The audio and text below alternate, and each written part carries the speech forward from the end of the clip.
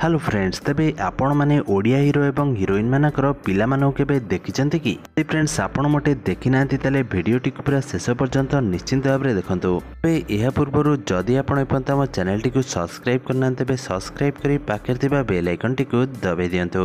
ଏଇଭଳି ଫ୍ରେଣ୍ଡସ୍ ଅଲିଉଡ଼ର ଟିକିନିକି ଖବର ବିଷୟରେ ଅଧିକ ଜାଣିବା ପାଇଁ ଫ୍ରେଣ୍ଡସ୍ ଆମ ଲିଷ୍ଟର ପ୍ରଥମ ନମ୍ବରରେ ଆସୁଛନ୍ତି ମାହି ମାହିକୁ ତ ଆପଣମାନେ ମୁଁ ବି ଅର୍ଦ୍ଧାଙ୍ଗିନୀ ସିରିଏଲରେ ଜବରଦସ୍ତ ଆକ୍ଟିଂ କରୁଥିବାର ନିଶ୍ଚିନ୍ତ ଭାବରେ ଦେଖିଥିବେ ଗତ ବର୍ଷ ମାହି ଚନ୍ଦନକୁ ଭଲ ପାଇ ସେ ବିବାହ କରିଥିଲେ ହେଲେ ଫ୍ରେଣ୍ଡସ୍ ଇଏ ହେଉଛନ୍ତି ମାହିଙ୍କର ଝିଅ ଏବେ ଏହାପରେ ଆସୁଛନ୍ତି album heroine Monalisa album heroine Monalisa album hero ଦେବାଶିଷକୁ ସେ ଭଲ ପାଇ ସେ ବିବାହ କରିଥିଲେ ଫ୍ରେଣ୍ଡସ୍ ଇଏ ହେଉଛନ୍ତି ଦେବାଶିଷ ଏବଂ ମୋନାଲିସାଙ୍କର ପୁଅ ଏବଂ ଝିଅ ଫ୍ରେଣ୍ଡସ୍ ଏହାପରେ ଆସୁଛନ୍ତି ଅଲିଉଡ଼ର ଲୋକପ୍ରିୟ ହିରୋଇନ୍ ପ୍ରିୟା।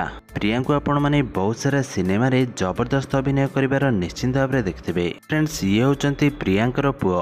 ଫ୍ରେଣ୍ଡସ୍ ଏହାପରେ ଆସୁଛନ୍ତି ରାନୁ। ଫ୍ରେଣ୍ଡସ୍ ଆପଣମାନେ ରାନୁଙ୍କୁ ଇନ୍ଦୁର ବିନ୍ଦୁ ସିରିଏଲରେ ଭଗବତୀ ଚୈତ୍ରରେ ଅଭିନୟ କରିବାର ନିଶ୍ଚିନ୍ତ ଭାବରେ ଦେଖିଥିବେ। ଫ୍ରେଣ୍ଡସ୍ ଇଏ ହେଉଛନ୍ତି ରାନୁଙ୍କର ପୁଅ। ଏହାପରେ ଆସୁଛନ୍ତି ରଚନା ବାନାର୍ଜୀ। ଅଲିଉଡ଼ରେ ବହୁତ ନାଁ କରିପାରିଥିଲେ ରଚନା ବାନାର୍ଜୀ। ପ୍ରାୟ ବହୁ ବର୍ଷ ହେବ ରଚନା ବାନାର୍ଜୀ ସେ ଅଲିଉଡ଼ ଇଣ୍ଡଷ୍ଟ୍ରିକୁ ଛାଡ଼ି ଦେଇଛନ୍ତି। ଫ୍ରେଣ୍ଡସ୍ ସେ କୌଣସି ବି ଓଡ଼ିଆ ସିନେମାରେ ମୋଟେ ନଜର ଆସୁନାହାନ୍ତି। ହେଲେ ଫ୍ରେଣ୍ଡସ୍ ଇଏ ହେଉଛନ୍ତି ରଚନା ବାନାର୍ଜୀଙ୍କ ପୁଅ। ଫ୍ରେଣ୍ଡସ୍ ଏହାପରେ ଆସୁଛନ୍ତି ମାମା ମିଶ୍ର।